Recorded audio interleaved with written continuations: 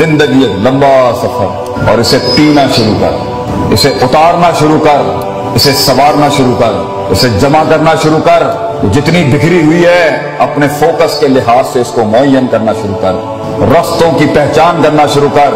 رستوں پہ رستے بنانا شروع کر۔ رستوں سے منزلیں مت مانگ۔ رستوں کو منزلیں عطا کرنا شروع کر۔ منزلوں کو ایک نئی منزلیں عطا کرنا شروع کر۔ منزلوں کے ہاتھ جو ٹوٹے ہیں انہیں جڑوانا شروع کر۔ ٹوٹی ہوئی ٹانگوں کو وہ مقام دینا شروع کر۔ چھوٹے ہوئے ہاتھوں کو وہ ساتھ دینا شروع کر۔ کیے ہوئے جتنے عہد ہیں، وفا کرنا شروع کر۔ اپنے آپ سے ایک ایفا کرنا شروع کر۔ وہ جو کامل نہ ہو سکے، ان عشقوں کو جمال دینا شروع کر۔ اپنے حسن کو اور اپنے ان ببال کو وہ اشتعال دینا شروع کر۔ اپنے اندر کے اشکال کو نئے خیال دینا شروع کر۔ اپنے اندر کی روح کو وہ مقام دینا شروع کر۔ وہ احساس دینا شروع کر۔ اگر نہیں کرے گا تو اس آیت میں ہی تیری اور میری زندگی کا اختتام ہوگا۔ کہ اللہ کہتا ہے انجشا یو زکم بجاتی بخل جدید۔ اگر تو نہیں کرے گا، یہ مقام اور خیال نہیں پیدا کرے گا، تو ہم نئے لوگوں کو لے آئیں گے and you will be replaced from this جنہوں نے بڑائیوں کو ایک بڑائی بخشنی ہوتی ہے زمانے کے اندر، اس کے پاس سب سے قیمتی دو چیزیں ہوتی ہیں، جس کو وہ اپنی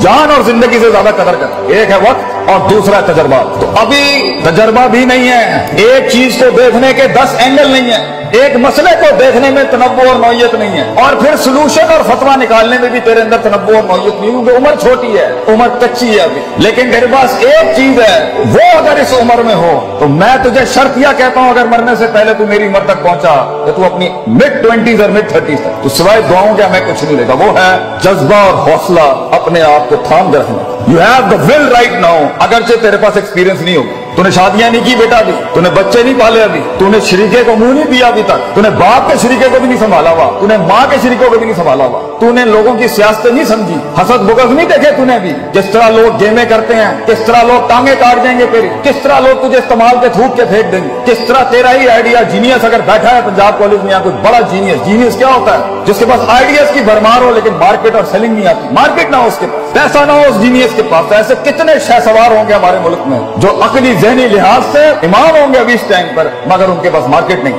پیسہ نہیں ہے فنڈ نہیں ہے دکان نہیں ہے کمپنی نہیں آرگنائزیشن تو وہاں تک ہولڈ کرنے کے لیے جب تک تو ایک بن جائے گا وہ چیز کہ پیسہ بھی خود آئے گا، لوگ بھی آئیں گے تیرے ساتھ جڑنے کے لیے۔ تیرے پاس صرف اپنے پاس ایک چیز ہے کہ تھام کے رکھنا ہے۔